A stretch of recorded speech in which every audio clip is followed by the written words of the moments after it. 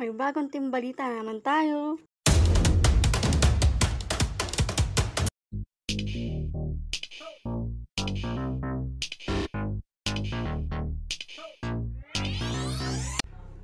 Dahil sa biglaang pagkawala ni Lloyd Cadena, Daryl Ruiz aka Skastakli biglang kinabahan.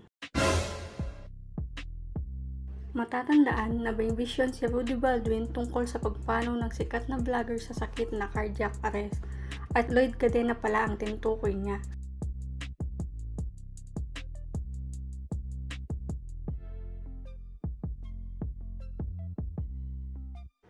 Ngunit may vision din pala si Rudy Baldwin tungkol sa isang rapper. Hashtag Showbiz Vision. Nakikita ko isang rap singer ito. Pero may kanta siya na hindi rap. Ngunit mas kilala siya bilang rapper.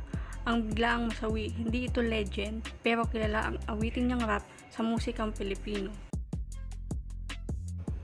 At ito ang naging reaksyon ni Skastakli sa vision ni Rudy Baldwin.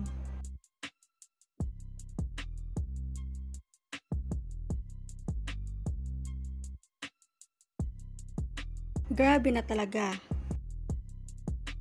Pag may namamatay naman saka lumalabas mga prediction eh. Fact out of here bro, hawak ako ni God. What you gonna do? Sino nga ba ang tinutukoy ni Rudy Baldwin? At bakit kaya biglang nag-react si Skastakli ng ganon?